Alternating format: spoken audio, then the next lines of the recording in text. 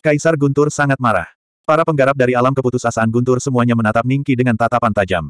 Ada setan, manusia, dan berbagai ras asing. Seekor rubah putih sedang duduk di bahu anggota klan roh raksasa. Perhatiannya tidak tertuju pada Ningki, namun sebagian kesadarannya tertuju pada Hu Cheng, yang berdiri di samping Wang Lin dan istrinya. Jadi rubah kecil ini ada di sini. Setelah membunuhnya, posisi cucuku sebagai rubah suci akan tenang.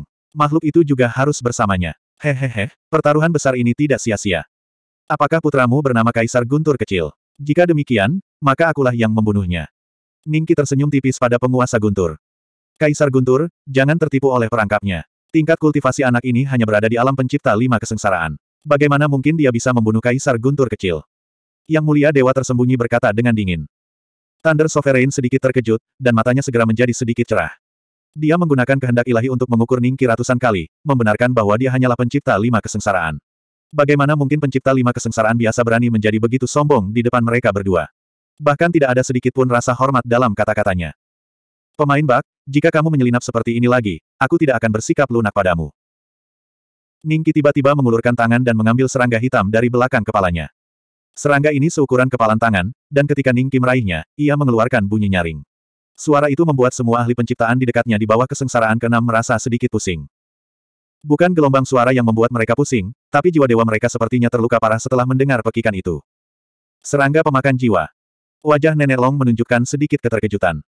Aku tidak menyangka akan ada serangga seperti itu di dunia ini. Sakya tanpa pemikiran juga kaget. Martial Granduncle, apa itu serangga pemakan jiwa? Di kejauhan, Sakya Ruye memandang Sakya Huijing dengan sedikit keraguan. Mereka belum pernah mendengar serangga jenis ini sebelumnya, tapi pasti luar biasa sampai Nenek Long dan yang lainnya terkejut. Legenda mengatakan bahwa dahulu kala, ketika langit hancur, banyak serangga aneh jatuh dari langit. Serangga ini tidak terlalu agresif, tetapi mereka memiliki jiwa manusia super. Banyak pembudidaya yang diparasit oleh mereka dan tubuh mereka dibawa pergi. Serangga ini mewarisi ingatan para pembudidaya. Pada masa itu, orang tidak tahu apakah makhluk yang mereka ajak bicara adalah manusia sungguhan atau boneka yang telah dibawa pergi oleh serangga pemakan jiwa. Oleh karena itu, daratan tengah mengalami bencana yang sangat mengerikan pada saat itu. Kurang dari satu dari sepuluh petani yang selamat, dan mereka hampir musnah. Pada akhirnya, cacing pemakan jiwa hancur total. Hal ini dicatat dalam beberapa kata dalam lima sejarah kuno sembilan prefektur di kuil kuno sembilan prefektur. Adapun bagaimana cacing pemakan jiwa dihancurkan, tidak ditulis secara detail.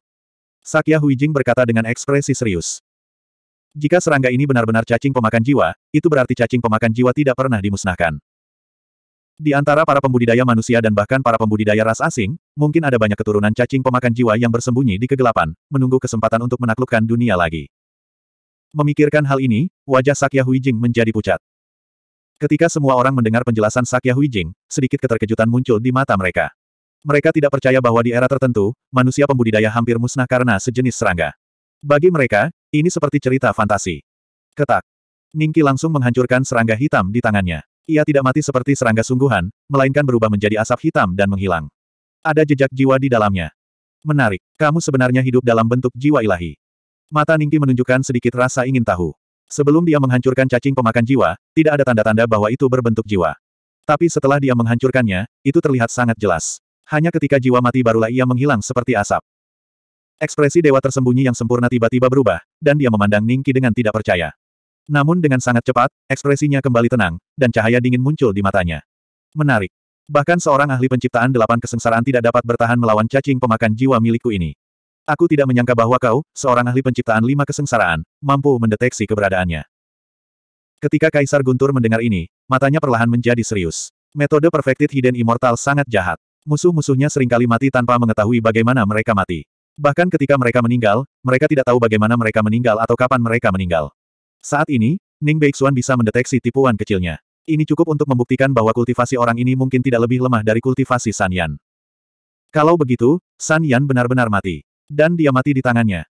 Cacing pemakan jiwa. Nenek Long dan yang lainnya menyipitkan mata. Dewa tersembunyi yang sempurna menangkap cacing pemakan jiwa dan memurnikannya menjadi cacing. Kecurigaan muncul di mata Sakya Huijing. Aku tidak hanya bisa mendeteksi keberadaannya, tapi aku juga tahu kalau itu hanyalah segumpal jiwamu yang terpisah dari tubuhmu. Bukankah begitu? Ah, cacing pemakan jiwa yang berpura-pura menjadi manusia. Ningki memandang Perfected Hidden Immortal dengan tenang. Keabadian tersembunyi yang sempurna adalah cacing pemakan jiwa. Tidak hanya ekspresi Kaisar Guntur yang berubah, bahkan setengah dari bawahan di belakang Perfected Hidden Immortal pun terkejut. Ning Beixuan mengatakan bahwa dewa tersembunyi yang sempurna adalah cacing pemakan jiwa. Ini. Nenek Long dan yang lainnya terkejut dan tidak percaya. Cacing pemakan jiwa telah muncul kembali. Tidak, harus dikatakan bahwa cacing pemakan jiwa telah memata-matai kita manusia sejak awal. Wajah Sakya Huijing bergerak-gerak beberapa kali. Sakya Ruye, yang berdiri di sampingnya, menyadari bahwa telapak tangan paman gurunya tampak sedikit gemetar. Apakah cacing pemakan jiwa benar-benar menakutkan? Bahkan paman guru pun sangat takut akan hal itu. Sakya Ruye terkejut. Kaisar Guntur diam-diam menjauhkan diri dari Perfected Hidden Immortal. Dia awalnya berencana untuk menekan Ningki secara langsung dan membalaskan dendam Kaisar Guntur muda, tetapi dalam situasi saat ini, dia merasa ada beberapa hal yang perlu diklarifikasi.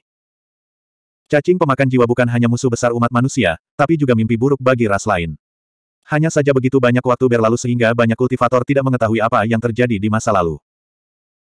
Pada saat ini, semua detail dari Perfected Hidden Immortal diungkapkan kepada Ningki di panel atribut, termasuk identitas aslinya. Ini adalah cacing besar. Tuan, Anda boleh makan apa pun yang Anda mau, tapi Anda tidak bisa mengatakan apa pun yang Anda mau. Saya telah mengembangkan teknik Gu selama bertahun-tahun, tapi menurut kata-kata Anda, saya ini cacing. Lelucon yang luar biasa. Dewa tersembunyi yang sempurna terdiam beberapa saat, lalu menatap Ningki dan tertawa dingin. Beberapa kultivator di belakangnya yang memancarkan aura master penciptaan delapan bencana saling memandang dan tiba-tiba berdiri.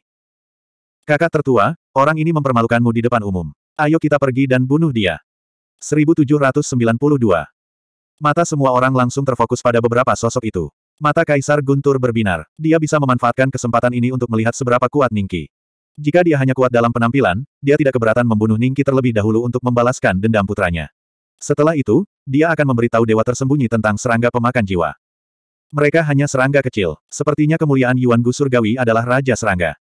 Sudut mulut Ningki sedikit melengkung saat dia bergumam pada dirinya sendiri.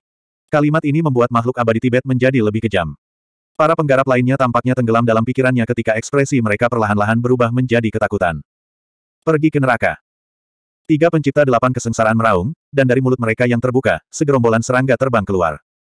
Serangga-serangga ini terbakar dengan nyala api hijau pucat, dan ke mana pun mereka lewat, kekosongan itu pecah dan terbakar, meninggalkan jejak hijau yang panjang. Serangga yang sangat kuat, salah satu dari mereka bisa membunuhku. Mata Sakya Huijing berkilat ketakutan. Metode para pembudidaya yang mengolah seni serangga berbisa memang menakutkan. Bahkan pencipta delapan kesengsaraan akan bingung ketika menghadapi serangan mendadak dari kawanan serangga berbisa ini, atau bahkan menderita luka berat. Api pada serangga ini agak aneh. Nenek Long dan yang lainnya memandangi serangga hijau menyala dengan ekspresi serius. Bahkan mereka merasakan sedikit bahaya dari nyala api ini. Api abadi, ini berarti serangga pemakan jiwa ada hubungannya dengan benua abadi. Mata Ningki sedikit berkedip, dan dia menyerang dengan telapak tangannya. Telapak tangan Daluo sembilan api. Sembilan jenis api abadi muncul entah dari mana dan menelan serangga dan tiga pencipta delapan kesengsaraan dalam sekejap. Desis. Serangga-serangga itu mengeluarkan tangisan sedih saat api hijau abadi di tubuh mereka langsung dikalahkan oleh kombinasi sembilan api abadi. Api abadi mendarat di tubuh mereka dan membakarnya menjadi abu. Arg. Tiga pencipta delapan kesengsaraan mengeluarkan jeritan menyedihkan saat kulit mereka meleleh seperti lilin, terkelupas hingga memperlihatkan tulang dan organ dalam mereka. Semua orang terkejut saat mengetahui bahwa organ dalam mereka sebenarnya terdiri dari cacing kecil. Cacing-cacing ini memiliki bentuk dan ukuran yang berbeda-beda, tetapi satu-satunya kesamaan yang mereka miliki adalah mereka menjijikan. Melihat ini, para penggarap dari ekstremitas guntur tidak bisa menahan diri untuk tidak mengerutkan kening. Ini juga pertama kalinya banyak penggarap dari ekstremitas kitab suci Dao melihat pemandangan seperti itu. Mereka tanpa sadar menelan seteguk air liur. Segera, ketiga ahli penciptaan juga dibakar menjadi abu oleh api abadi. Namun, mereka tidak hilang sepenuhnya. Sebaliknya, serangga pemakan jiwa berkepala tiga muncul di tempat mereka berada. Jijiji. Serangga pemakan jiwa berkepala tiga merasa bingung pada awalnya, tetapi ketika ia sadar kembali, ia terbang ke depan guru tercerahkan yang abadi tersembunyi dan berteriak. Semua orang tidak dapat memahami apa sebutannya, tetapi mereka dapat yakin bahwa ketiga pembudidaya yang tampak seperti manusia, sebenarnya adalah boneka yang diparasit oleh serangga pemakan jiwa. Kamu masih bilang kamu bukan serangga besar. Ningki berkata sambil tersenyum tipis. Immortal Hidden Immortal, apakah kamu benar-benar serangga pemakan jiwa? Wajah Raja Guntur berubah serius. Semua kultivator yang telah mendengar tentang asal-usul serangga pemakan jiwa terkejut dan takut ketika mereka menoleh untuk melihat Immortal Hidden Immortal.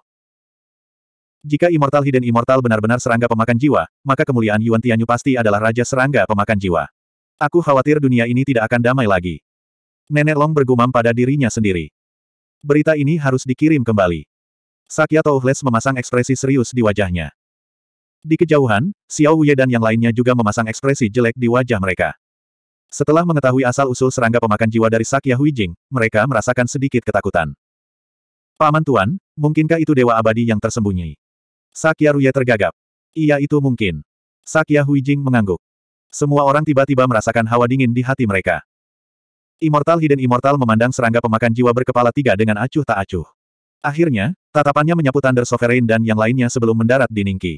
Dia tiba-tiba tertawa. Benar, aku memang serangga pemakan jiwa. Kalian semut cukup beruntung mengetahui identitasku hari ini. Ini adalah berkah yang luar biasa.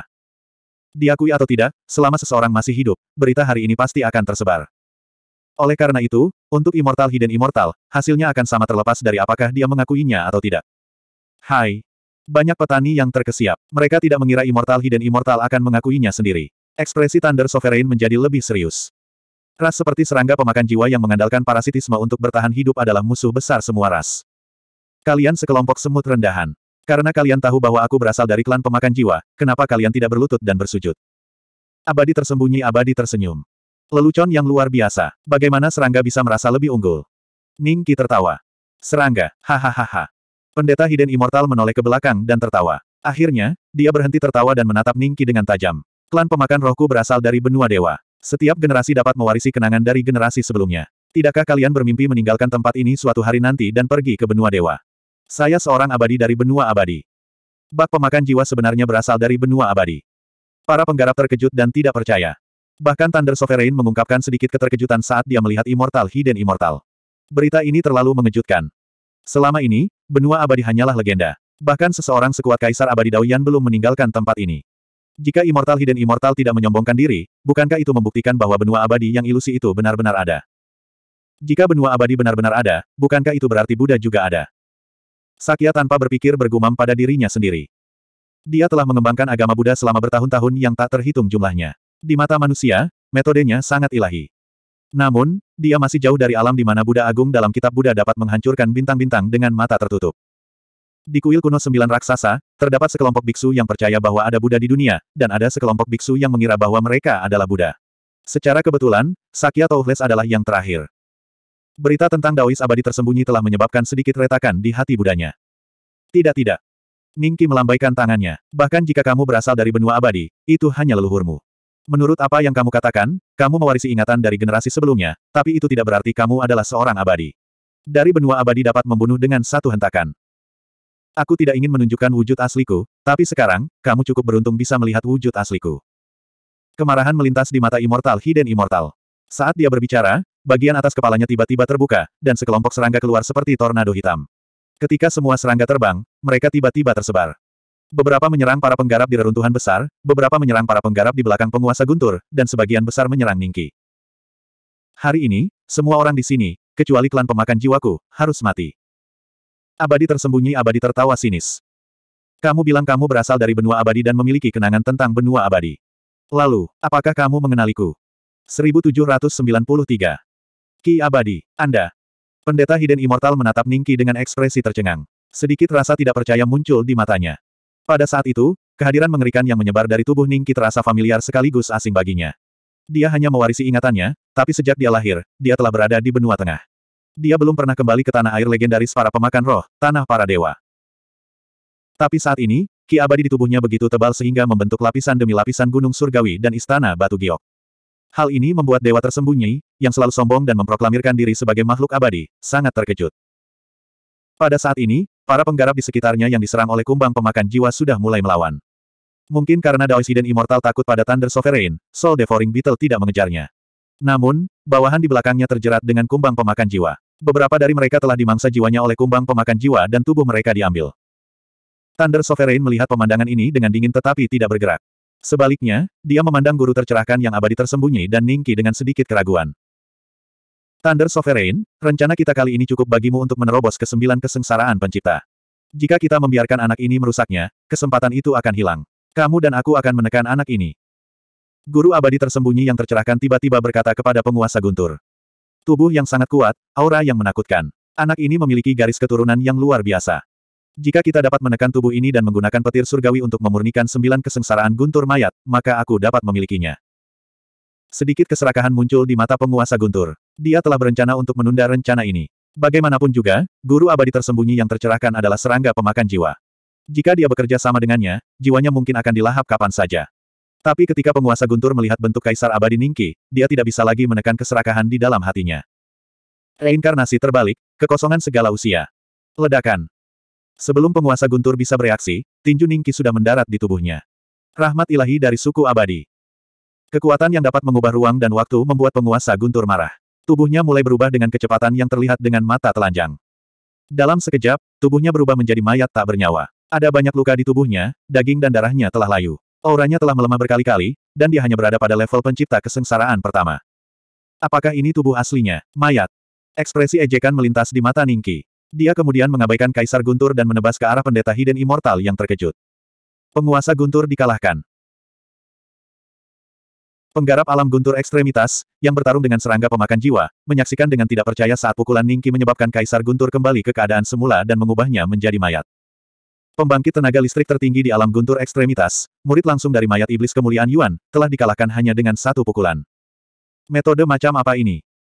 Ketika para penggarap reruntuhan besar melihat ini, mata mereka dipenuhi dengan ekstasi. Niat bertarung mereka melonjak ke langit saat mereka mengeluarkan raungan marah dan membunuh cacing pemakan jiwa di depan mereka. Penguasa Guntur telah dikalahkan. Sakya tanpa pemikiran meraung marah. Dia dan Nenek Long melindungi penduduk desa Cloud Rising Village sambil membunuh cacing pemakan jiwa di depan mereka. Mereka tidak peduli jika penggarap lainnya meninggal atau terluka, tetapi jika penduduk desa menderita terlalu banyak korban, mereka tidak akan memiliki kepercayaan diri untuk menahan kemarahan Ningki. Selain itu, Nenek Long pernah membuat kesepakatan dengan Ningki sebelumnya, jadi dia segera muncul di samping Wang Lin dan yang lainnya untuk membantu mereka menyingkirkan cacing pemakan jiwa.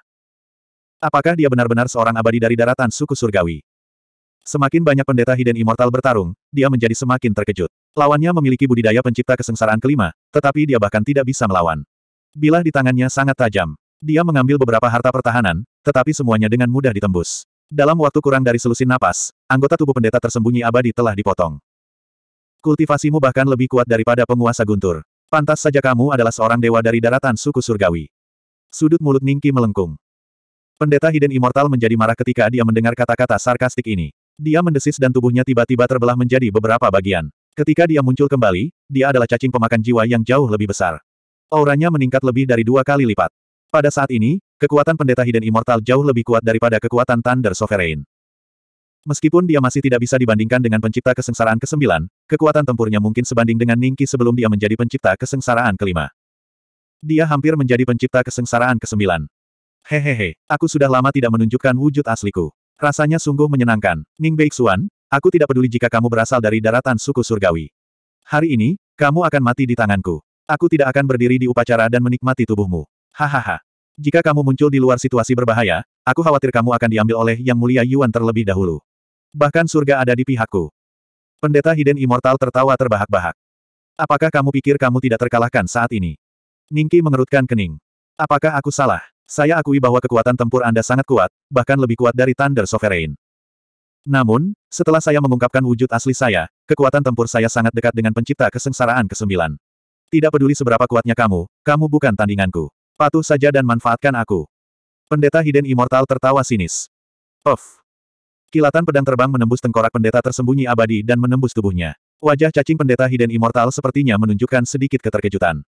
Kemudian, tubuh cacingnya terbelah dua. Namun, dia tidak mati begitu saja. Kedua bagian tubuh cacingnya menyatu kembali. Off. Kilauan pedang lainnya melintas. Pendeta Hidden Immortal dipotong menjadi dua lagi. Brengsek. Dia meraung kaget dan marah.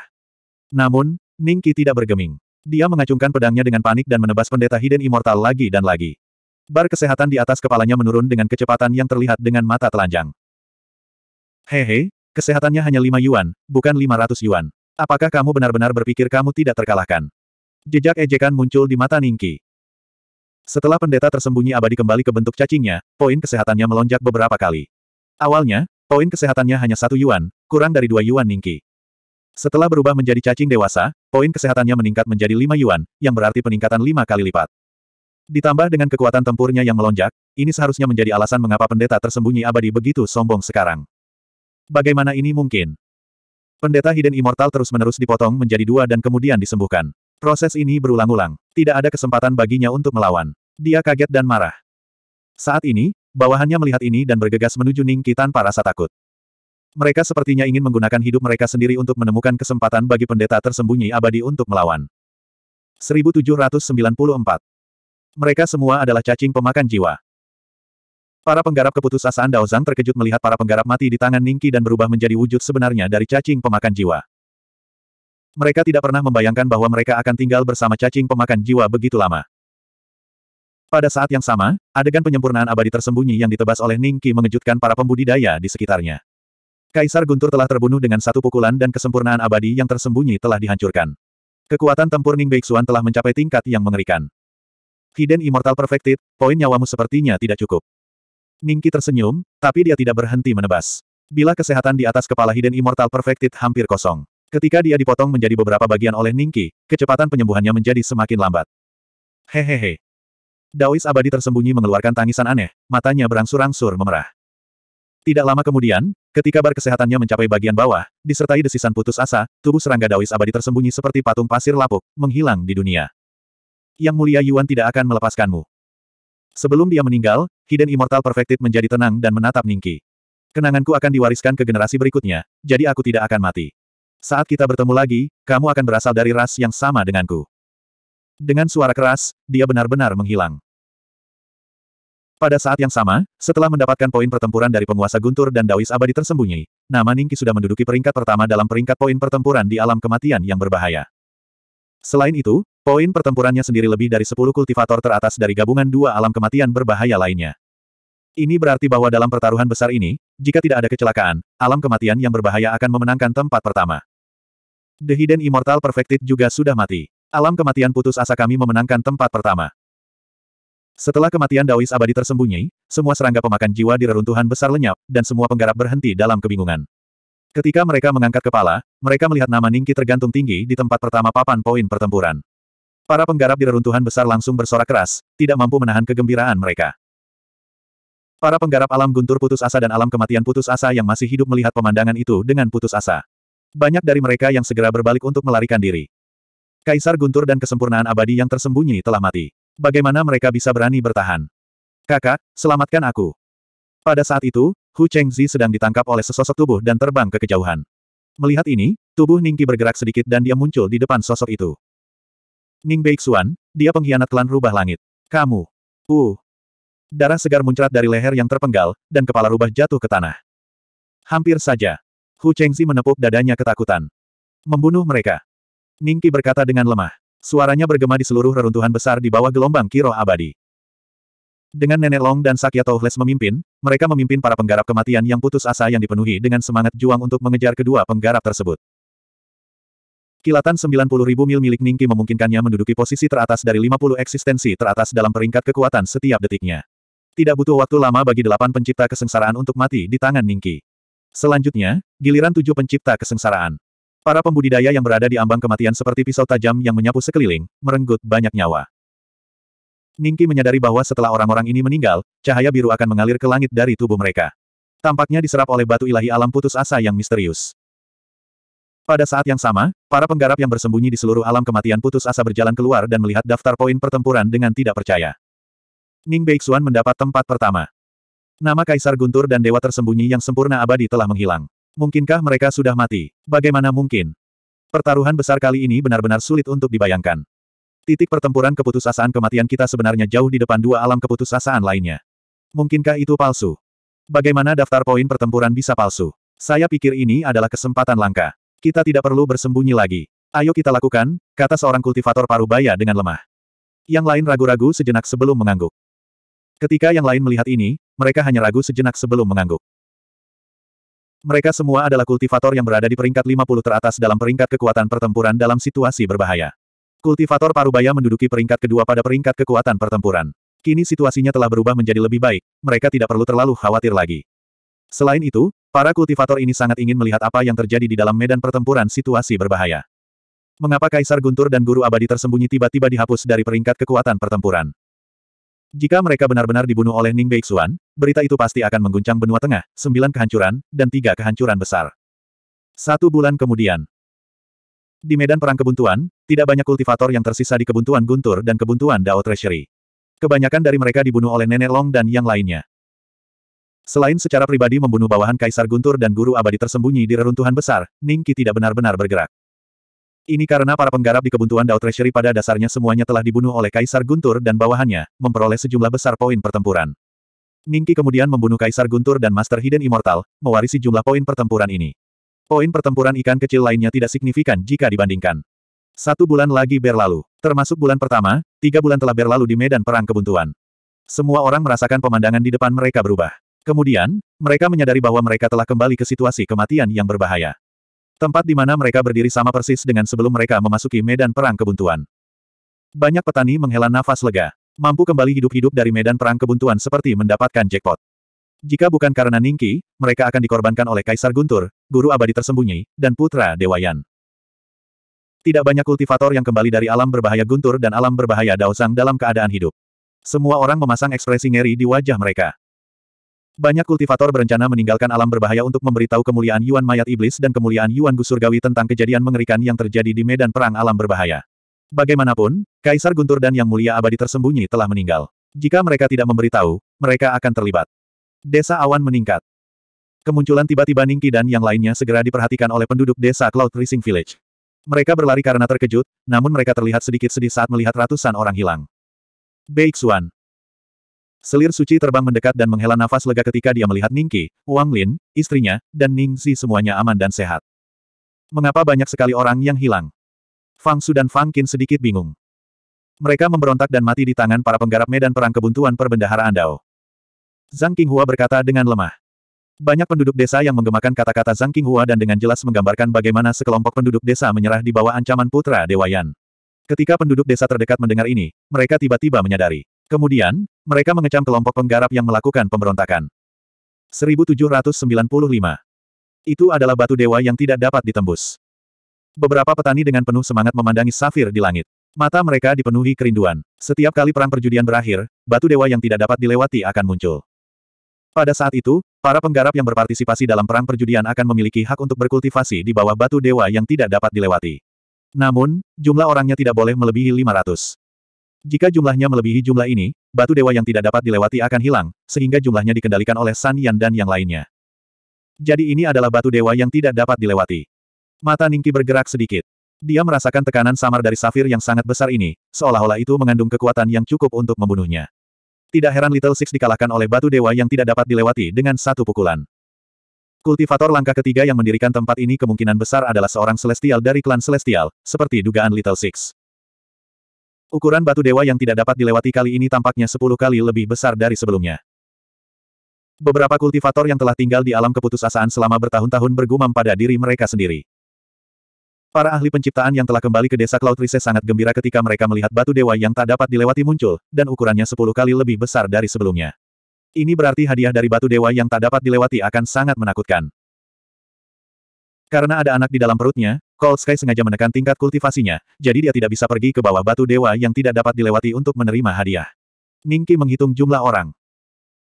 Termasuk Wang Lin dan istrinya, Yuer kecil, Zuolinger, Fang Qin, Fang Su, Hu Cheng, dan para ahli penciptaan yang mengikutinya ke alam keputusasaan, hanya ada sekitar 400 orang. Di bawah tatapan penuh harap dari semua orang, Ningki memilih kultivator fase hukum yang memiliki level yang hampir sama dengan Lisian Xian sehingga totalnya menjadi 485 orang. Ningki meninggalkan 15 tempat tersisa untuk Nenek Long dan yang lainnya. Mereka telah berkontribusi banyak pada alam keputusasaan, jadi mereka tidak bisa membiarkan semua orang tetap hidup. Batu dewa yang tak dapat dilewati telah muncul. Alam keputusasaan kami tidak hanya mendapatkan tempat pertama, tetapi kami juga membunuh hampir semua pembudidaya di alam keputusasaan Guntur dan alam kitab suci Dao. Benar saja, batu dewa yang tidak dapat dilewati kali ini sepuluh kali lebih besar dari sebelumnya. Hadiah kali ini bukanlah perkara kecil. Kita bertiga mungkin memiliki kesempatan untuk menerobos belenggu kita saat ini. Setelah Nenek Long dan yang lainnya kembali ke lembah tujuh sekte, mereka segera berkumpul dan melihat safir raksasa di langit. Total ada 500 tempat. Berapa orang yang harus kita bawa kali ini? Seorang wanita tua dari sekte Yin yang berkata dengan ragu-ragu. Ning Beixuan memiliki desa Cloud Rising di bawah komandonya. Aku khawatir sebagian besar tempat akan diambil olehnya. Tapi dengan emosinya, masih mungkin baginya untuk meninggalkan tempat untuk kita bertiga. Jika kita beruntung, mungkin masih ada beberapa tempat tersisa. Beberapa dari 50 teratas dalam peringkat kekuatan tempur belum muncul. Mereka hidup atau mati. Mereka pasti akan bertarung memperebutkan tempat itu. Saya pikir itu akan cukup jika kita masing-masing membawa satu orang bersama kita. Nenek Long berpikir sejenak dan berkata. Sakya tanpa pemikiran mengangguk. Dia tidak keberatan.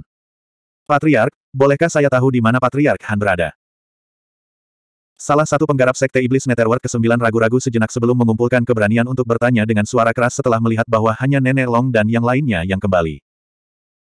Ketika para penggarap sekte lain mendengar ini, mereka semua menajamkan telinga dan memandang mereka bertiga dengan ekspresi jelek. Mereka tewas dalam pertempuran. Nenek Long berkata dengan ringan. Bagaimana ini bisa terjadi? Aliran dingin patriark. Tidak perlu bicara lebih banyak. Mereka mati dalam pertempuran. Nenek Long melambaikan tangannya dengan tidak sabar dan kemudian memilih dua petani dari Sekte Yin Yang. Sakya Touhles memandang Sakya Huijing dan mengangguk ringan. Sakya Huijing terbang ke langit dan berdiri di belakang Sakya Touhles. Dia tidak bisa menahan kegembiraan di matanya. Para penggarap lainnya hanya bisa melihat ketiga orang yang dipilih dengan rasa iri. Para penggarap dari enam jalan Sekte Reinkarnasi, sembilan Sekte Iblis Dunia Bawah, Sekte Pertempuran, dan Sekte Iblis Mental semuanya marah, tetapi mereka tidak berani menunjukkannya. Mereka hanya bisa mengertakkan gigi di dalam hati dan bersumpah untuk menyampaikan berita itu kembali ke sekte mereka. Bagaimana Frigid Stream bisa mati, tapi Nenek Long dan yang lainnya tidak? Pasti ada sesuatu yang mencurigakan terjadi. Fiuh, kami akhirnya kembali. Kami memenangkan tempat pertama di alam kematian yang berbahaya. Batu ilahi yang tidak dapat dilewati jauh lebih besar dari sebelumnya. Haha. Tujuh atau delapan sosok secara bersamaan muncul di daerah terpencil di kebuntuan kematian. Ketika semua orang mengetahui bahwa batu dewa kebuntuan telah muncul, wajah mereka menunjukkan sedikit keterkejutan. Kemudian, mereka semua mengalihkan pandangan mereka ke kultivator dengan sosok paling ramping dan aura terkuat.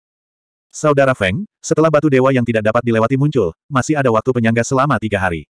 Ayo pergi dan bawa junior kita, lalu kita akan berkumpul di sini dan berangkat ke sana bersama-sama. Feng Kingsway menganggukkan kepalanya dengan ringan dan berkata, pertaruhan besar ini tidak sederhana. Bahkan Kaisar Guntur dan Dewa Tersembunyi Abadi telah mati. Saya tidak tahu apakah putra Dewa Yan masih hidup. Pergi dan kembalilah dengan cepat, jangan sampai keadaan berubah. Mendengar ini, ekspresi semua orang berubah menjadi serius. Kemudian, mereka mengangguk dan pergi. Kelompok kultivator yang masuk dalam 50 besar daftar kekuatan tempur ini, dipimpin oleh Feng Qingsui, yang berada di peringkat kedua dalam daftar kekuatan tempur, dapat dianggap sebagai kelompok kecil yang melampaui putra ilahi Yan dan tujuh sekte dan lembah. Sebelum pertaruhan besar, mereka sudah mendiskusikan cara maju dan mundur bersama. Pada awalnya, mereka bersiap untuk bersembunyi hingga akhir pertaruhan besar untuk melindungi diri mereka sendiri. Namun, mereka tak menyangka akan ada perubahan di tengah pertaruhan akbar tersebut. Mereka hanya tidak memiliki kesempatan untuk bertemu Ning Beixuan, yang menempati peringkat pertama dalam daftar kekuatan tempur. Atau lebih tepatnya, mereka tidak berani bertemu Ning Beixuan. Bagaimanapun, masalah ini sangat aneh. Bahkan Kaisar Guntur dan Dewa Tersembunyi Abadi telah mati. Tanpa keyakinan penuh, mereka harus berhati-hati. Hari kedua setelah pertaruhan akbar berakhir. Ningki memimpin semua orang ke arah batu dewa yang tidak dapat dilewati. Semua orang terus bangkit. Setelah menembus lapisan awan, mereka menemukan bahwa di bawah batu dewa yang tidak dapat dilewati, terdapat sebuah platform perunggu. Panjang dan lebarnya ratusan mil. Itu sangat besar. Sekalipun ratusan ribu orang berdiri di atasnya, tempat itu tidak akan ramai. Saat ini, sudah ada ribuan master penciptaan di platform perunggu ini. Para kultivator ini telah bergegas ke sini pada hari pertama batu dewa yang tak dapat dilewati muncul. Banyak dari mereka melihat bahwa Ningki telah membawa ratusan orang, banyak di antaranya adalah kultivator alam transendensi, dan wajah mereka langsung menunjukkan kemarahan. Ketika para penggarap ini sedang berjudi, mereka tersebar di setiap sudut medan perang dewa yang tak dapat dilewati. Dari awal sampai akhir, mereka belum melihat Ningki. Selain mereka, ada sekelompok kecil penggarap, sekitar 70 hingga 80 orang. Ketika mereka melihat kedatangan Ningki, ekspresi mereka sedikit berubah. Mereka menghitung jumlah orang yang dibawa dan dikeluhkan Ningki dalam hati mereka. Tampaknya pemberian batu dewa yang tidak dapat dilewati tidak ada hubungannya dengan mereka. 5 bencana, ahli penciptaan. 6 bencana ahli penciptaan. Huff. 1796. Mendengar omelan dari pencipta tujuh kesengsaraan, para kultivator yang mengetahui identitas Ningki memiliki ekspresi aneh. Mereka memandang pencipta tujuh kesengsaraan dengan rasa kasihan. Jadi itu adalah tinju ketuhanan seratus mil, Huo Qingyang. Kudengar dia sangat sombong dan terkadang bahkan tidak menaruh perhatian pada delapan pencipta kesengsaraan. Dia benar-benar sombong. Dia akan menendang pelat logam kali ini. Menyuruh senior Ning untuk enyahlah. Haha, dia punya banyak muka. Mereka memandang pencipta tujuh kesengsaraan dengan perasaan senang hati. Namun, sebagian besar pembudidaya seperti Huo Qingyang, memandang Ningki dan yang lainnya dengan jijik. Seseorang berkata dengan nada mengejek, hanya ahli penciptaan kesengsaraan kelima atau keenam. Hem, ada juga banyak ahli penciptaan kesengsaraan pertama dan kedua, dan bahkan para penggarap alam transendensi. Dari mana asal pengemis ini? Apakah mereka benar-benar mengira semua orang bisa datang ke sini? Menerima warisan batu ilahi yang tidak dapat dilewati setelah pertaruhan besar. Setelah penduduk desa Cloud Rising mendengar ini, mereka mengungkapkan ekspresi marah. Namun, Wang Lin dan teman-temannya sangat tenang. Mereka memandang para penggarap di depan mereka dengan sedikit ejekan di mata mereka. Sepuluh napas waktu hampir habis. Jika kamu tidak nyala sekarang, jangan salahkan tinjuku karena tidak kenal ampun. Huo Qingyang berkata dengan dingin. Senior Huo, tidak perlu bersikap sopan kepada mereka. Setiap kali batu dewa yang tidak dapat dilewati muncul, beberapa orang telah meninggal. Orang-orang ini punya mata tapi buta untuk menyerang. Mereka pantas mati. Jika senior Huo terlalu malas untuk melakukan apa pun, saya bisa melakukannya untuk Anda. Seorang kultivator muda yang tampan berkata sambil tersenyum. Oke, bunuh mereka semua. Huo King yang mengangguk. Kultivator muda itu sedikit terkejut, dan sedikit kemarahan muncul di matanya. Meskipun dia adalah master penciptaan enam kesengsaraan, pihak lain juga memiliki master penciptaan enam kesengsaraan. Huo King yang jelas ingin dia memanfaatkan pihak lain untuk menyingkirkannya. Dengan begitu, akan ada satu slot lagi. Memikirkan hal ini, kultivator muda itu tertawa dingin. Dengan menjentikan jarinya, beberapa ahli penciptaan enam kesengsaraan menonjol. Kultivator muda itu tersenyum pada mereka dan berkata, saudara senior dan junior, haruskah kita menyerang bersama? Oke. Enam pencipta kesengsaraan tersenyum dan mengangguk. Kemudian, mereka bersiul panjang dan terbang menuju Ningki. Cahaya dingin melintas di mata Ningxi. Dengan sedikit gerakan tubuhnya, dia menghilang di tempat. Ketika dia muncul kembali, dia sudah berada di atas para kultivator muda. Sangat cepat. Mata para kultivator muda itu menunjukkan sedikit keterkejutan. Sebelum mereka sempat bereaksi, sayap di punggung Ningxi perlahan terbuka. Seperti pisau tajam, mereka menyapu tubuh para petani muda itu. Dengan suara lembut, para penggarap di platform perunggu melihat para penggarap muda yang yakin akan kemenangan mereka berubah menjadi tumpukan daging cincang dan jatuh ke tanah. Pembunuhan instan. Mereka semua adalah ahli penciptaan enam kesengsaraan, tetapi mereka semua terbunuh dalam sekejap. Mereka memandang Ningxi dengan sedikit ketakutan di mata mereka. Menarik. Tidak heran kalian semua berani datang ke sini. Kalian memang memenuhi syarat untuk menerima budidaya batu ilahi yang tidak dapat dilewati. Namun, yang lain masih perlu nyahlah. Kalau tidak, aku secara pribadi akan menekan kalian juga. Huo Qingyang memandang Ningxi dan tersenyum. Cahaya aneh melintas di matanya. Kecantikan dan kekuatan tempur Ningxi membuatnya sedikit tergoda. Pada saat ini, beberapa lusin sosok terbang dan muncul di platform perunggu. Ketika Huo Qingyang dan yang lainnya melihat sekelompok orang itu, ekspresi mereka berubah. Huo Qingyang, yang awalnya sombong, menangkupkan tangannya bersama para kultivator lainnya. Salam, Senior Feng. Feng Kingsui, peringkat kedua dalam peringkat kekuatan tempur. Serta beberapa penggarap lainnya di 50 besar peringkat kekuatan tempur. Mereka telah berada dalam kebuntuan kematian selama bertahun-tahun. Huo Qingyang dan yang lainnya pernah melihat mereka sebelumnya, jadi mereka sekilas mengenalinya. Mem. Feng Kingsui mengangguk ringan. Saat tatapannya menyapu Ningki, dia sedikit mengernyit. Seorang kultivator di 50 besar peringkat kekuatan tempur di belakangnya memandang Ningki dan tidak bisa menahan diri untuk berkata, beberapa ratus orang. Bahkan ada penggarap alam transendensi. Sejak kapan transfer budidaya batu ilahi yang tidak dapat dilewati menjadi begitu murah? Senior, kami bersiap untuk mengusir mereka. Huo Qingyang dengan cepat berkata. Selain mereka, pihakmu juga. Lebih dari seribu ahli penciptaan. Lelucon macam apa ini? Mereka yang memiliki budidaya rendah bisa nyahlah. Kultivator lain di 50 besar peringkat kekuatan tempur berteriak dengan dingin. Para kultivator yang berharap beruntung mengungkapkan senyuman canggung ketika mendengar ini. Mereka bersiap untuk pergi sendiri, jangan sampai mereka diserang oleh pihak lain. Jika itu terjadi, mereka mungkin tidak dapat mempertahankan hidup mereka. Mem, Sakya Wunian dan yang lainnya juga ada di sini. Mata Feng Qingsui tiba-tiba menyipit saat dia melihat ke kejauhan. Dia melihat enam sosok melaju dan mendarat di platform perunggu. Itu adalah Nenek Long dan Sakya Wunian. Nenek Long, kenapa aku tidak melihat kakak Han dan yang lainnya? Feng Qingsui tersenyum. Para penggarap di 50 besar peringkat kekuatan tempur di belakangnya mencibir ketika mereka melihat Nenek Long dan yang lainnya.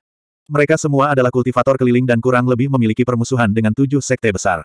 Kalau tidak, mereka tidak akan membentuk kelompok kecil dengan Feng Qingsui sebagai pemimpinnya. Mereka kurang beruntung dan tewas di medan perang kebuntuan. Nenek Long berkata dengan ringan. Sayang sekali, bahkan Kaisar Guntur dan yang lainnya mati kali ini, kan? Entah kecelakaan apa yang terjadi dalam perang judi kali ini. Feng Qingsui berkata sambil tersenyum tipis. Meskipun dia mengatakan itu sangat disayangkan, para pembudidaya di sekitarnya dapat dengan jelas merasakan bahwa Feng Qingsui sedang sombong. Hehe, kami tidak terlalu yakin.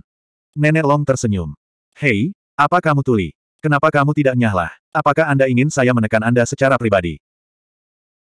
Pada saat ini, salah satu pembudidaya di 50 besar peringkat kekuatan tempur di belakang Feng Qingsui melihat bahwa Ningqi dan yang lainnya tidak meninggalkan platform perunggu sendirian.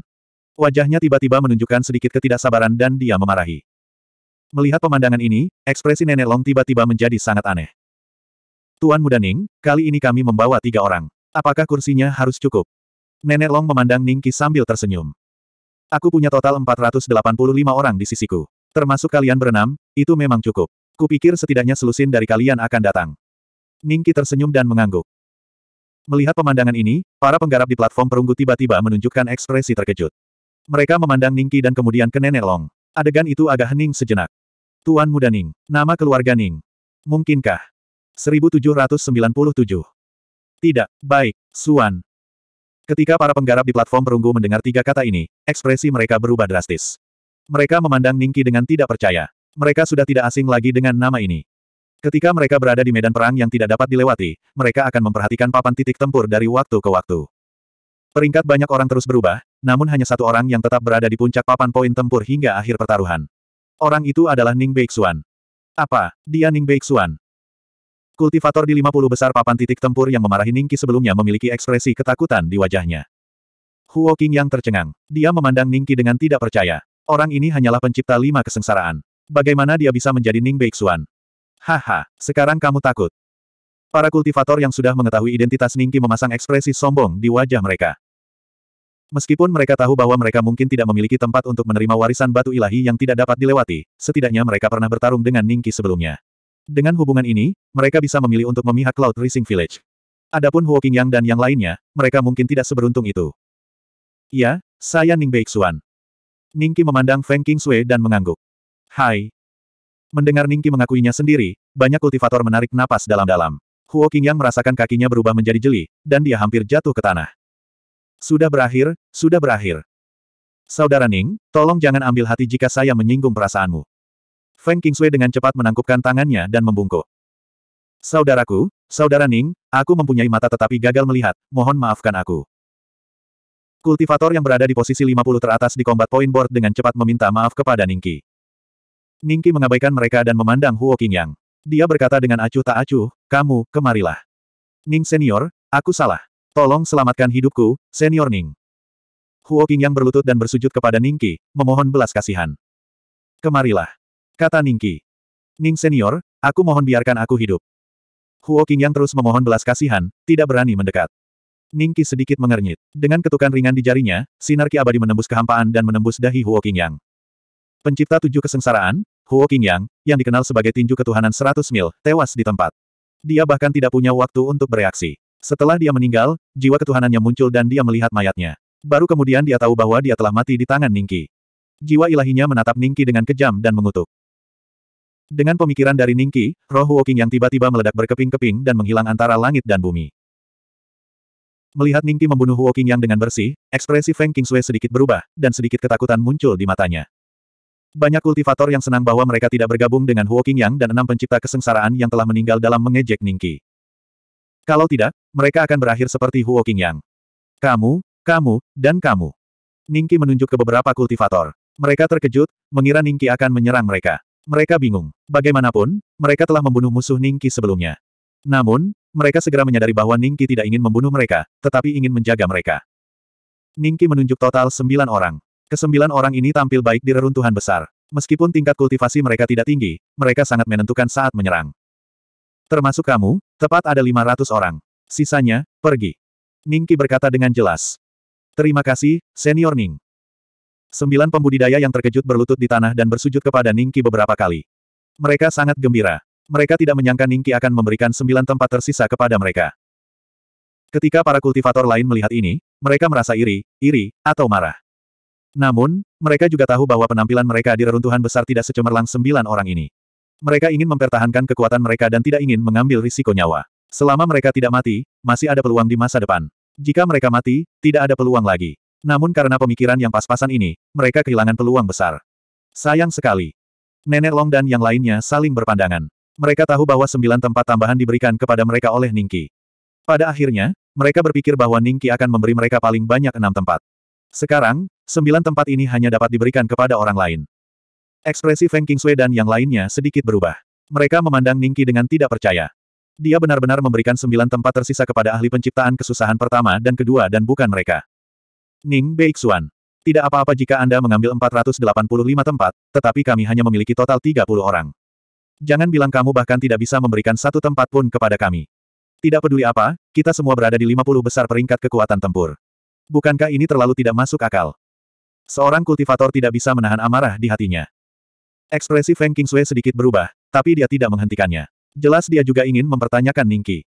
Di mana kamu saat kami menyerang? Saya mendengar bahwa ada sekelompok orang di 50 besar peringkat kekuatan tempur yang bersembunyi setiap kali mereka berjudi. Setelah pertempuran selesai, mereka akan datang dan menikmati hadiah batu ilahi alam yang tidak dapat dilewati.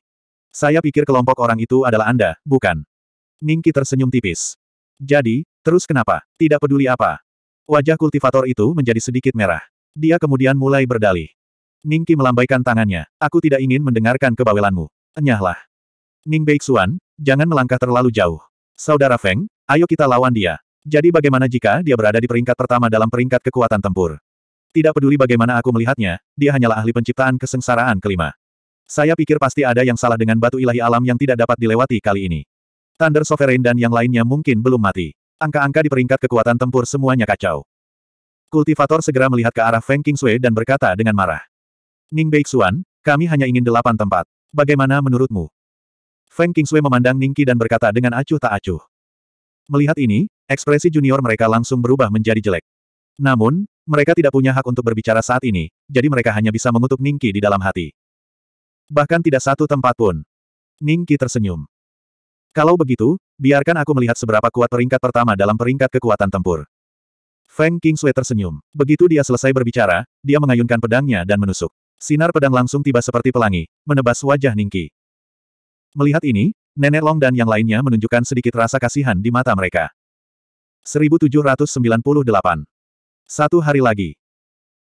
Para pembudidaya di sekitar Feng Kingsui merasakan hawa dingin di hati mereka saat mereka menatap kosong pada butiran darah di antara alisnya. Saat mereka berharap mendapat keberuntungan, semakin banyak butiran darah merembes dari alis Feng Kingsui hingga ke tubuh bagian bawah. Kemudian, dengan suara keras, seluruh tubuhnya terbelah dua dan jatuh ke kiri dan kanan. Tidak peduli seberapa kuat budidaya Feng Kingsui atau seberapa kuat kekuatan penciptaan di tubuhnya, setelah tebasan Ningki, semuanya musnah. Sama seperti manusia biasa, dia tidak mungkin mati lagi. Jiwa rohaninya juga hancur. Bahkan jika makhluk abadi turun ke dunia fana, dia tidak akan bisa menyelamatkannya. Hai! Para penggarap yang hadir tersentak dan melihat pemandangan itu dengan tidak percaya.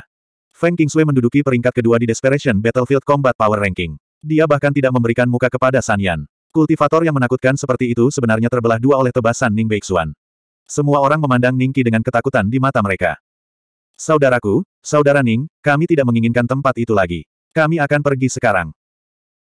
Pada awalnya, dia ingin melawan Ningki sampai mati untuk mendapatkan beberapa tempat, tetapi setelah kematian Feng Kingsui, dia benar-benar menyerah pada pemikiran berlebihan ini. Dia segera memasang wajah berbeda dan tersenyum pada Ningki. Kemudian, dia memberi isyarat kepada para penggarap di sekitarnya dengan matanya dan bersiap untuk pergi. Feng Kingsui mati untukmu, dan kamu pergi begitu saja. Ning Qi tertawa. Sekelompok pembudidaya tiba-tiba menghentikan langkah mereka. Sebelum mereka bisa membuka mulut untuk memohon belas kasihan, sembilan api abadi turun dari langit. Semua orang hanya bisa mendengar mereka mengeluarkan tangisan yang menyedihkan sebelum mereka dilalap oleh lautan api abadi, berjuang saat mereka dibakar menjadi abu. Notifikasi sistem terus berdering. Bersama dengan poin penciptaan yang diperoleh di medan perang keputusasaan, poin penciptaan Ningki telah melampaui angka 300 ribu. Namun, masih ada selisih 700 ribu dari 1 juta. Pada titik ini, 50 besar peringkat kekuatan tempur medan perang keputusasaan, selain Sakya tanpa pemikiran dan Nenek Long, semuanya mati. Banyak tujuh ahli penciptaan bencana menemukan bahwa mereka berada di peringkat 10 besar peringkat kekuatan tempur. Meskipun mereka terkejut, mereka juga merasakan ketakutan yang tak terhingga. Kamu masih belum pergi. Ningki melihat sekeliling dan tersenyum.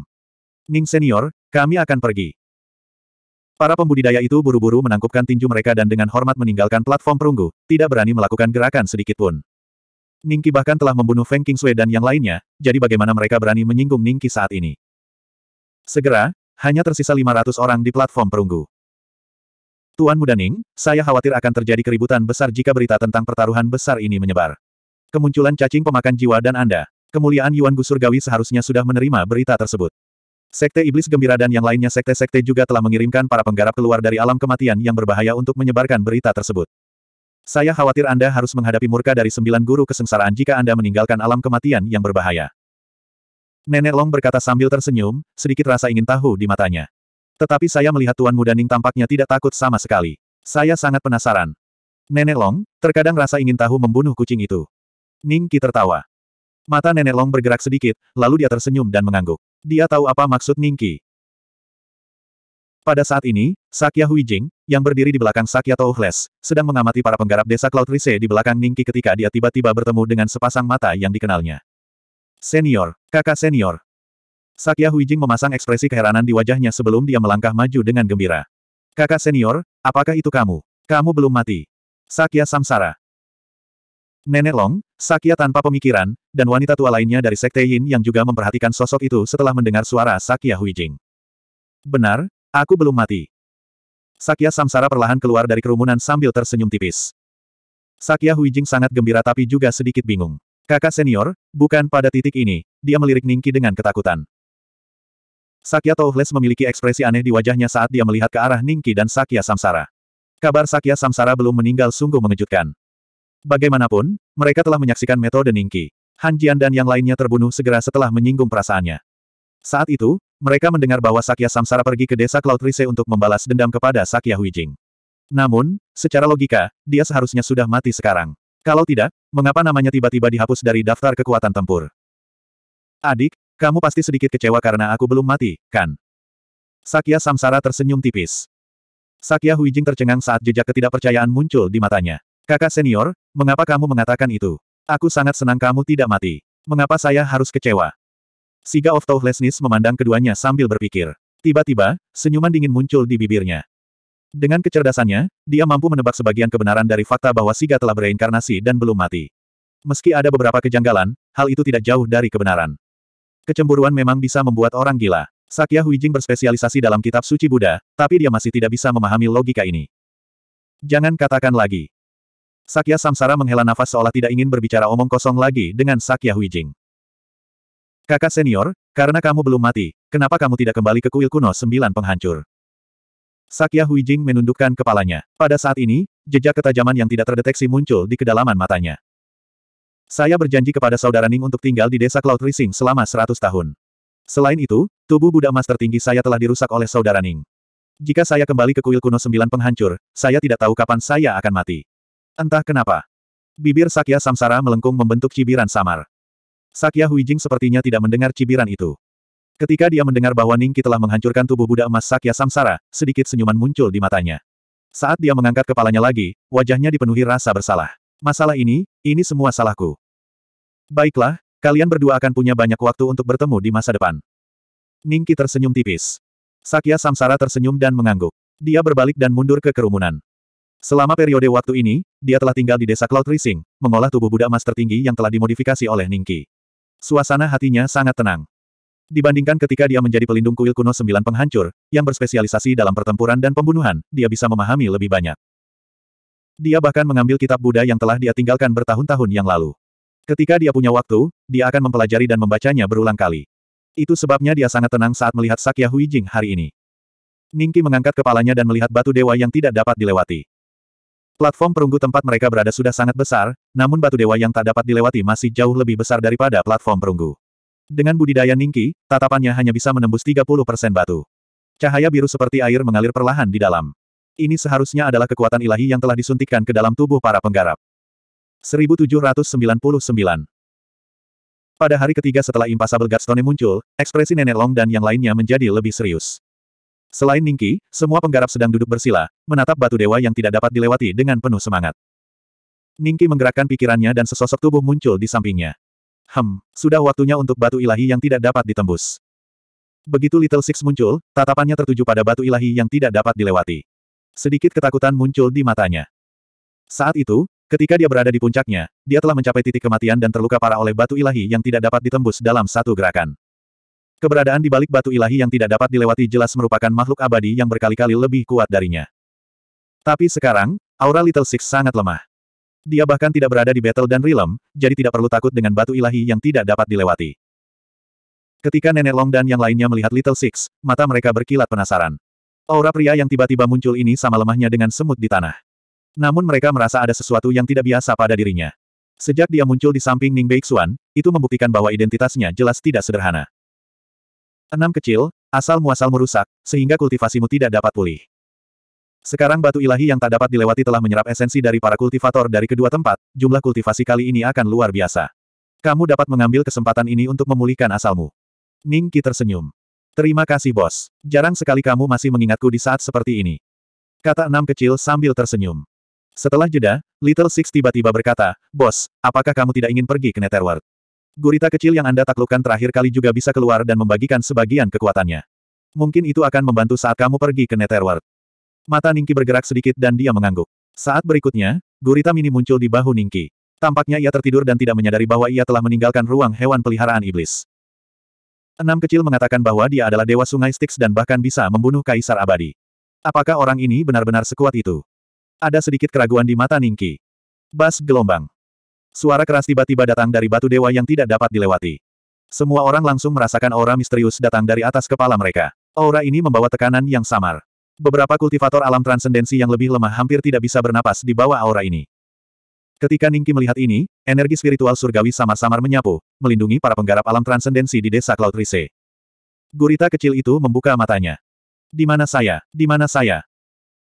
Ia melihat sekeliling dengan ngeri, tentakelnya melingkari leher Ningki dengan erat, seolah-olah ini adalah satu-satunya cara untuk memberinya rasa aman. Eh, baunya harum sekali. Tiba-tiba ia mengangkat kepalanya dan melihat ke arah batu ilahi yang tidak dapat dilewati, matanya menunjukkan sedikit keracunan. Itu telah dimulai. Batu Dewa Kebuntuan mulai memancarkan kekuatannya. Semua orang sangat bersemangat. Bahkan seseorang seperti Sakya Toughles, yang telah mengembangkan kondisi pikirannya hingga mencapai puncak, mau tak mau merasa bersemangat. Lagi pula, sudah lama sekali sejak kebuntuan kematian terjadi. Dan kali ini, kemenangan telak. Hampir semua penggarap dari dua alam kebuntuan telah meninggal. Bisa dibayangkan betapa menakutkannya hadiah dari batu dewa alam kebuntuan. Bas gelombang bas gelombang bas gelombang. Batu dewa kebuntuan mengeluarkan sembilan dentuman keras berturut-turut. Para penggarap kebuntuan kematian semua memandang ke arah ini dengan rasa iri. Mereka tahu bahwa kelompok pembudidaya lain akan memperoleh peluang besar. Pilar cahaya turun dari langit dan mendarat di atas semua orang di platform perunggu. Ada yang tebal dan ada yang tipis. Beberapa setipis benang. Misalnya, para penggarap alam transendensi biasa di desa Cloud Rise, Lisiansian, dan yang lainnya hanya memiliki benang tipis. Pilar kesengsaraan pertama, kedua, dan ketiga setebal kelingking atau ibu jari. Ningzi dan yang lainnya setebal kepalan tangan. Wang Lin dan istrinya sedikit lebih lemah dari Ningzi, dan Nenek Long serta yang lainnya memiliki tebal sekitar satu kaki. Yang mengejutkan adalah pilar biru di atas Little UR dan Zuolinger juga tebalnya sekitar satu kaki.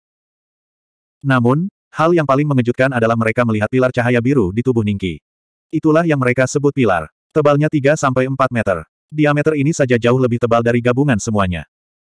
Tak lama setelah itu, Li Xianxian dan yang lainnya merasakan aura dingin mengalir melalui meridian mereka. Segera, Aura ini menyatu dengan kekuatan mereka dan terus meningkat. Hanya dalam beberapa saat, seseorang menerobos alam kecil. Hal yang sama terjadi pada semua orang. Ledakan. Awan pembalasan ilahi muncul, namun segera dihancurkan oleh batu dewa kebuntuan. Gelombang aura pencipta baru datang dari para penggarap yang awalnya berada di alam transendensi. Dalam sekejap mata, setengah dari kultivator alam transendensi di desa Cloud Rise telah berhasil menembus kesengsaraan pertama. Yang lain tidak menerobos dengan cepat, namun aura pencipta kesengsaraan pertama dan kedua juga meningkat dengan cepat. Mereka pasti akan berhasil melewati kali ini. Itu hanya masalah waktu. Mata Little Six tertutup rapat, tapi Ningki bisa merasakan auranya menjadi mengintimidasi. Di dalam dantiannya, sepertinya ada sesuatu yang mengandung kekuatan yang sangat menakutkan. Itu seharusnya menjadi asal-muasal Little Six. Setelah asal-usul ini pulih sepenuhnya, tidak butuh waktu lama bagi Little Six untuk mendapatkan kembali basis budidaya sang pencipta. Ledakan, ledakan, ledakan. Awan pembalasan ilahi muncul di atas Little UR dan Zuolinger. Tingkat budidaya mereka meningkat pesat seolah-olah mereka sedang duduk di atas roket. Diagram Tai Chi hitam putih yang dibentuk oleh kekuatan penciptaan muncul di atas kedua gadis itu. Pencipta kesengsaraan pertama. Pencipta kesengsaraan kedua. Pencipta kesengsaraan ketiga. Nenek Long dan yang lainnya merasakan situasinya. Mata mereka membelalak tak percaya, tapi mereka semakin menantikannya. Menerobos ke ranah berikutnya adalah sesuatu yang belum pernah terjadi sebelumnya. Jika kedua gadis itu bisa melakukannya, mereka mungkin bisa menerobos ke alam kesengsaraan kesembilan. Ikan yin yang, mereka. Mata Nenek Long dipenuhi rasa tidak percaya. Dia bertukar pandang dengan wanita tua lainnya dari Sekte Yin Yang. Mereka berdua melihat sedikit keterkejutan di mata satu sama lain. Ningki memandang kedua gadis itu dengan kepuasan di matanya. Pada saat ini, kekuatan suci yang memasuki tubuhnya juga mulai berpengaruh. Plus 10.000 poin penciptaan. Plus 10.000 poin penciptaan. Kekuatan ilahi dari batu dewa kebuntuan terus meningkatkan tingkat budidaya Ningki. Pada panel status, poin penciptaan Ningki meningkat dengan kecepatan 10.000 per detik. Dalam waktu singkat, poin penciptaannya menembus angka satu juta. Pada saat ini, awan pembalasan ilahi muncul di atas kepalanya. Aura yang berasal dari awan pembalasan ilahi ini seratus kali lebih kuat daripada yang lain. Mungkin karena ini, batu dewa kebuntuan tidak membantu membubarkannya, membiarkan kesengsaraan petir menimpa kepala Ningki. Ledakan. Kekuatan mengerikan dari kesengsaraan petir muncul di atas kepala Ningki dan langsung memenuhi anggota tubuh dan tulangnya, memadatkan setiap sel di tubuhnya. 1800. Ding, selamat kepada tuan rumah karena berhasil naik ke pencipta kesengsaraan ke-6. Notifikasi sistem berbunyi. Ki abadi Ningki telah meningkat lebih dari 10 kali lipat, memenuhi meridiannya sampai penuh. Meridiannya, yang telah mencapai batasnya, secara bertahap melebar setelah terobosan. Seolah-olah dia telah melewati hambatan penting. Kemajuan ini berbeda dari masa lalu. Ningki merasa kondisinya telah membaik. Jika kultivasi dan kekuatan bertarungnya dikatakan sangat dekat dengan pencipta kesengsaraan ke-9 sebelumnya, maka dia mungkin tidak jauh berbeda dari Raja Iblis bahagia sekarang. Kekuatan ilahi dari batu ilahi yang tidak dapat ditembus tidak berhenti setelah membantu Ningki menerobos. Pilar cahaya di tubuhnya menjadi semakin terang. Ningki jatuh ke dalam keadaan yang aneh. Persepsinya tentang dunia luar berangsur-angsur menghilang, dan dia kehilangan kesadaran akan waktu. Seolah jiwanya sedang mengembara di galaksi yang luas. Waktu berlalu hari demi hari, dan dalam sekejap mata, setengah tahun telah berlalu. Beberapa petani dengan budidaya rendah telah menyelesaikan pemindahan dalam sebulan. Mereka semua mendapatkan sesuatu dan sangat terkejut. Seperti Little Yuer, Zuolinger, dan yang lainnya, mereka benar-benar terjaga dalam tiga bulan, sama seperti Nenek Long dan yang lainnya. Efek dari batu ilahi yang tidak dapat dilewati pada mereka secara bertahap menghilang. Hanya Ningki yang masih bermandikan pilar cahaya biru, dan aura di tubuhnya menjadi semakin menakutkan. Mendesah. Setelah Nenek Long dan yang lainnya bangun, mereka menghela nafas kecewa. Manfaat yang mereka peroleh kali ini tidak memungkinkan mereka berhasil menerobos ke alam penciptaan guru sembilan kesengsaraan. Namun, dampaknya masih bisa diterima. Kultivasi mereka sudah sangat dekat dengan alam penciptaan guru sembilan kesengsaraan. Wanita tua lainnya dari Sekte Yin yang setidaknya sebanding dengan Feng Qingsui. Adapun Nenek Long dan Sakya tanpa pemikiran, mereka mungkin tidak jauh berbeda dengan San Yan. Haha, aku adalah pencipta kesengsaraan ketiga. Hu Chengzi memandang dirinya sendiri dengan bangga dan tidak bisa menahan tawa.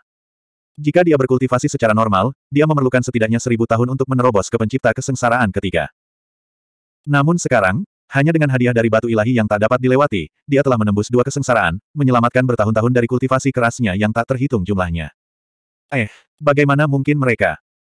Ketika pandangan Hu Chengzi tertuju pada Yuer kecil dan Zuolinger, matanya membelalak tak percaya. Pencipta tujuh kesengsaraan. Satu pemasukan dari batu dewa kebuntuan secara langsung mengubah mereka berdua menjadi pencipta tujuh kesengsaraan. Kekuatan suci yang mereka peroleh mungkin jauh di atas milik kita. Wanita tua lain dari Sekte Yin yang memandang Yuer kecil dan Zuo Linger dengan iri.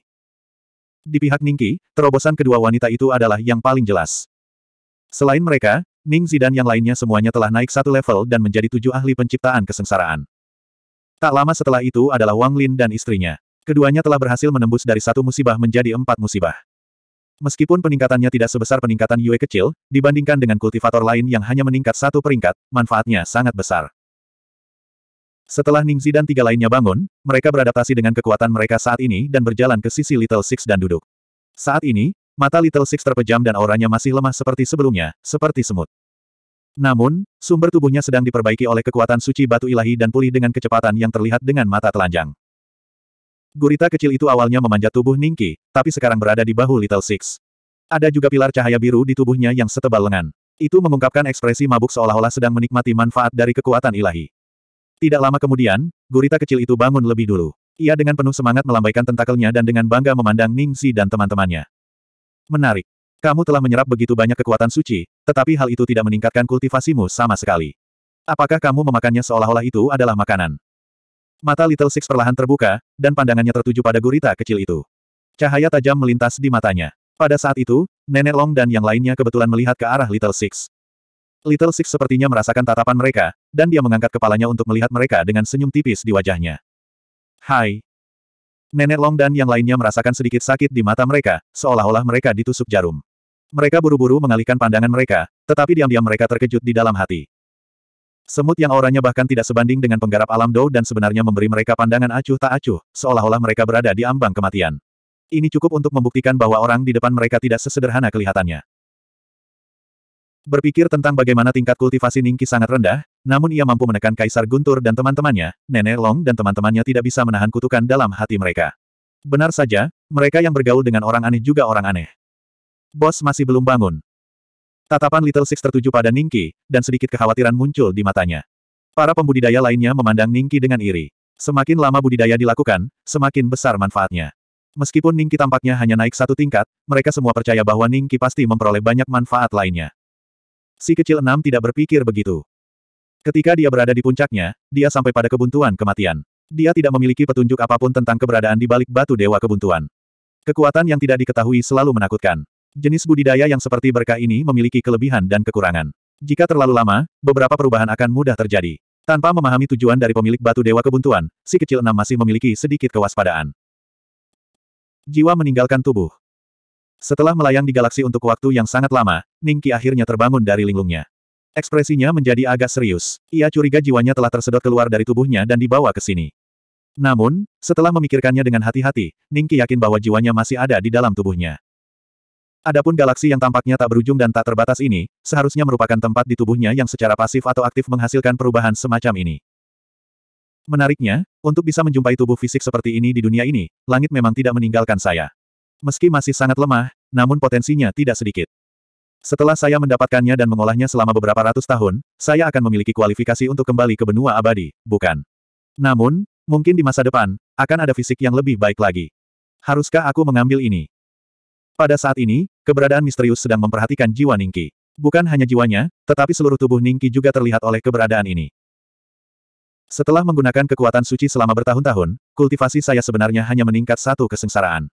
Hehe, coba saya lihat di mana batasan Anda. Jika kamu benar-benar memenuhi persyaratanku, maka kamu memenuhi syarat untuk menjadi veselku. Hahaha, jika makhluk-makhluk lama itu melihatku muncul di hadapan mereka, mereka pasti akan sangat terkejut.